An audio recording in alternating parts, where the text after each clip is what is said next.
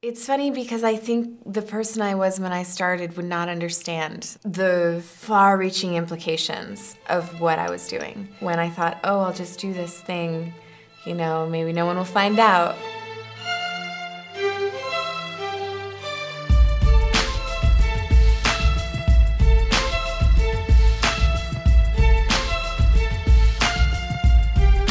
Hi, I'm Simone Jude, director of Public Sex Private Lives, the feature documentary. And I'm Isis Love, adult film star, and also one of Simone's subjects for her project. Public Sex Private Lives is an intimate portrait of the professional and private lives of porn performers Isis Love, Lorelei Lee, and Princess Donna. I've gotten to know these women on a personal basis and know them as people, and I want the world to understand how dynamic they are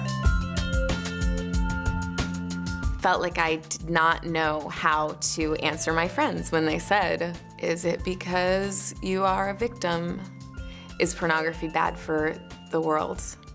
It's tough being a pornographer because you have to be willing to be outside the norm of society. John Stagliano is the owner of Evil Angel. He was indicted about two years ago on five counts of obscenity. I performed in two of the three movies that were indicted. I mean, I do feel to some extent that I am defending who I am to the US government.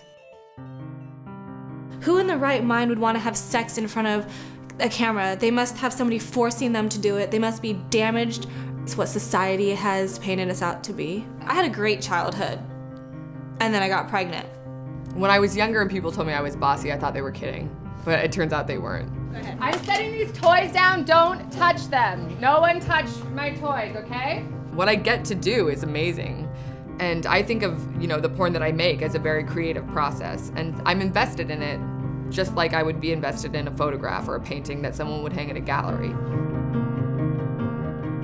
This is where porn comes back to haunt you. This is where you freak out because of what you have done to somebody on camera. A social worker is gonna look at you and go, oh, well, I've seen you've done this. So I know you're capable of physically doing this. So I've been self-funding this documentary for years and the crew has all been working for free. And we need these finishing funds in order to pay for the professional sound mix, the soundtrack, the color correction, the editing, and submission to festivals. And in case you don't know how Kickstarter works, we only get the money if we raise all the funds. So every single dollar counts. By the way, Isis has been shooting this Kickstarter um, between porn scenes. In fact, she just finished one. That's why you can only see me from face up, because from everything below is nude. Sorry, no. Nope. I have my shoes on. I have my shoes on. This is real, people, real. Thank you so much for your support, and we look forward to sharing the film with you. Remember, every dollar counts, and please, everybody, help us finish this film so everybody can see it. Thank you so much.